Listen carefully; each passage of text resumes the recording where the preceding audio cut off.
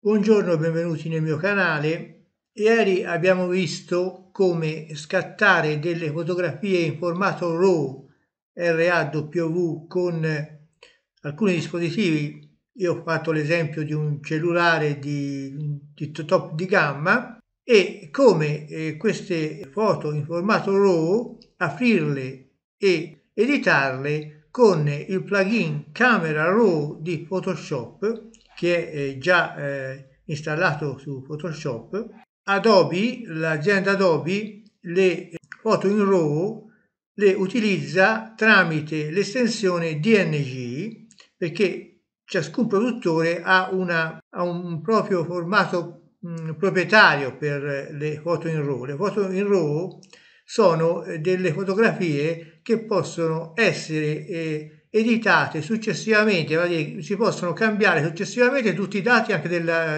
dell'obiettivo della macchina fotografica, come per esempio l'esposizione, il bilanciamento del bianco, quindi sono molto più pesanti delle, eh, delle immagini in JPEG in cui l'interpolazione fra i vari canali è già avvenuta. Dunque, Adobe riesce con eh, il formato DNG delle foto in RAW a, appunto a aprirle e a, e a eh, fare una sorta di post produzione prima di aprirle effettivamente su Photoshop.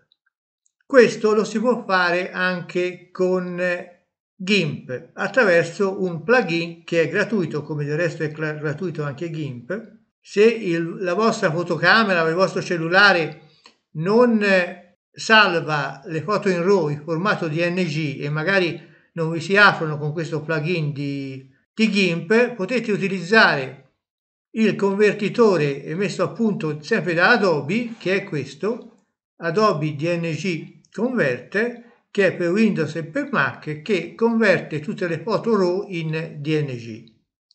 Ovviamente io tutti questi riferimenti, tutti questi indirizzi li metterò nella guida testuale che sarà linkata sotto il player del video. Detto questo, come si fa a eh, aprire una foto in RAW? In questo caso vi faccio vedere come si fa a aprire una foto DNG con GIMP. Bisogna installare un plugin che è questo, che si chiama Darktable, eccolo qua. Qui ci sono tutte le opzioni per i vari mh, sistemi operativi. Se uno ha Windows, clicca su Windows e scarica l'ultima versione di Windows. Qui io l'ho già scaricata, questa è l'ultima versione di Windows, ci si clicca sopra e si installa esattamente come qualsiasi altro programma, fa un doppio clic, ora mi dice che Darktable è già installata, chiaramente io l'ho già installato, quindi vado su no, però per, per la si va su avanti, qui si va su accetto, quindi lo, la installo nuovamente anche se l'avevo già installata, qui scelgo la cartella di destinazione, vado su avanti, ancora su avanti e quindi su installa e attendo la fine dell'installazione di Darktable nel computer. E adesso chiudo questa, come vedete, è un'immagine in formato DNG, cioè quindi un'immagine in RAW. Per aprirla adesso con GIMP, cosa faccio? Apro GIMP,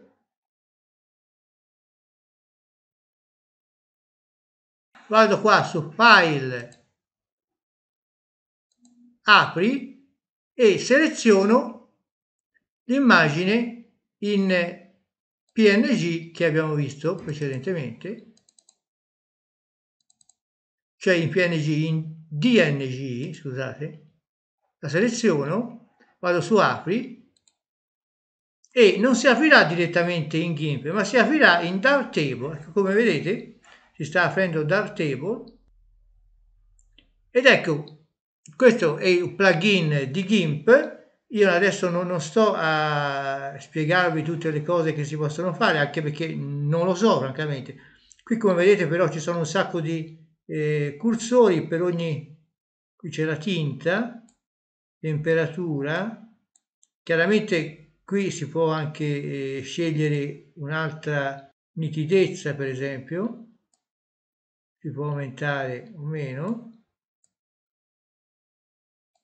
c'è l'elaborazione in tempo reale, curva base, orientamento, bilanciamento del bianco, possiamo aumentare il blu per esempio. Come vedete l'immagine in RAW quindi può essere, o in verde, può essere quindi adattata alle nostre esigenze anche con GIMP. Quando abbiamo qui sulla sinistra ci sono ancora eh, altri, altri comandi, ripeto io non li conosco, qui come vedete ci sono varie schede, questa è la scheda, questa è un'altra scheda, un'altra scheda ancora, con equalizzatore di toni per esempio,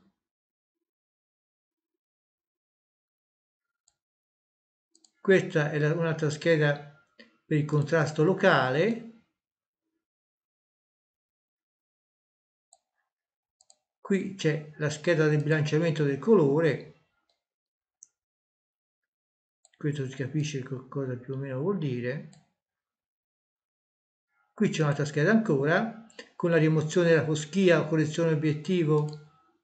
E più o meno sono le stesse cose che abbiamo già visto su, su Photoshop.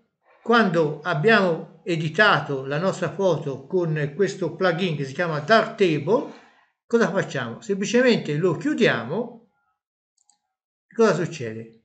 Succede che l'immagine verrà, come vedete, ecco, aperta in GIMP, ma sarà un'immagine che abbiamo già editato precedentemente su Darktable. E a questo punto l'immagine potrà essere editata in GIMP come eh, ci pare con, con i soliti strumenti di GIMP.